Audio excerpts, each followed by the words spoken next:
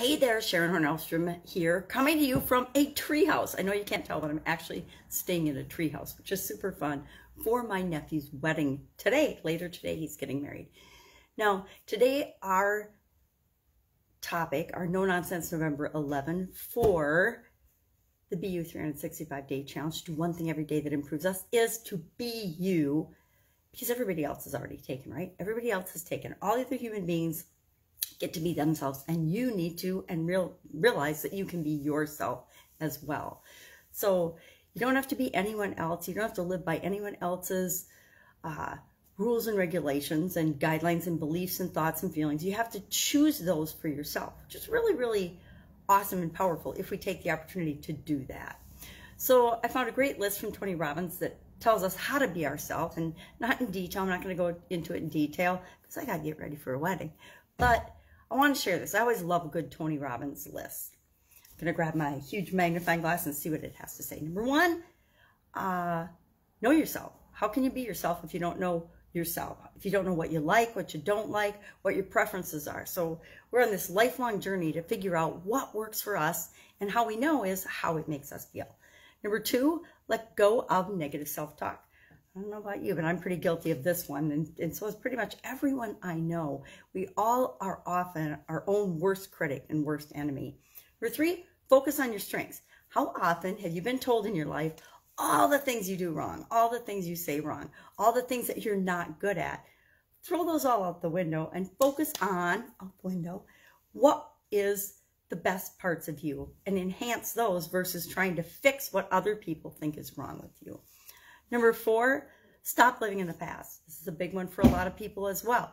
And guess what? The past is a minute ago, a second ago. It's all the past. So focus on the present moment. Do what you can with what you've got right now and create the life that you want.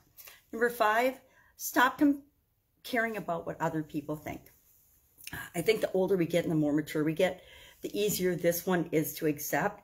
And once you realize that other people really don't think that much about you because everybody is so busy and concerned with being themselves and what things mean to them.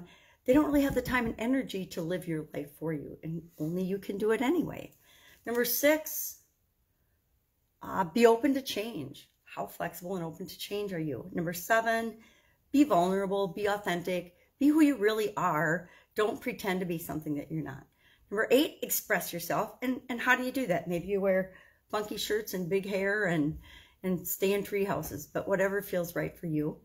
Uh, number nine, uh, get out of your comfort zone. That's a biggie for a lot of us as well. Do things that stretch you, that you're excited about, that help you to grow as a human being and as, as a person.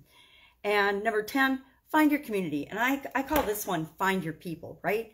We all need people that love us unconditionally for who we are, that support our dreams and goals and desires, and support us in creating the life that we want. So that's my little Tony Robbins list today. Our action item today is to, well, simply be yourself. But think about these things today. I say I'm going to use the journalistic framework today. And we've talked about this tool, who, what, where, when, why, and how. And I'm going to ask myself, when am I, who, who am I? And get to know myself better you know, who, what, where, when, why, and how am I most myself? Am I most comfortable? Who am I around when I'm, am I most comfortable? What am I doing? What am I wearing? What am I looking at? What is my, what is my environment and my surroundings like? Why? Why do certain things make me feel good and other things make me feel bad?